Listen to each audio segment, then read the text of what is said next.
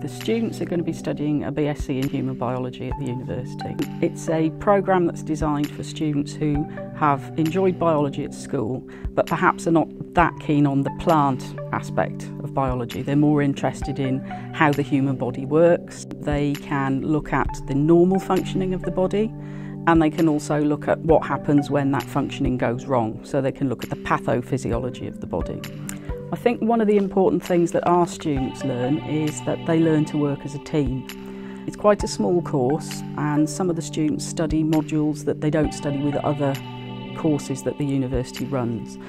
They also get to apply some of the practical skills that they've learnt um, and again gaining those practical skills and having self-confidence in their ability to perform I think is really useful for them in their future careers.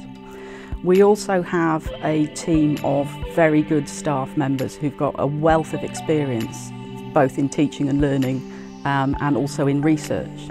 So we use our research skills to underpin our teaching. So we've got a very strong cardiovascular and respiratory research group. Um, there are PhD students coming through as well and some of our staff represent the university nationally and internationally at conferences.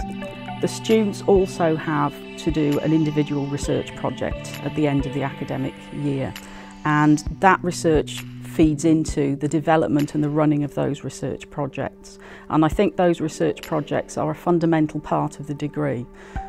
Students get an opportunity to work on their own with the support of a supervisor and they can in essence choose any subject that they found interesting throughout the course of their three-year degree programme and we will support them in developing and um, evolving as a mature adult um, to produce an excellent piece of work by the end of their course. The wide-ranging topics that the students study provides them with a, a really big choice of potential careers. So many of the students go in to become teachers, for example, so biology teachers, science teachers, um, human biology teachers. We also have students who've gone into medical research or perhaps have gone to work for a drug company.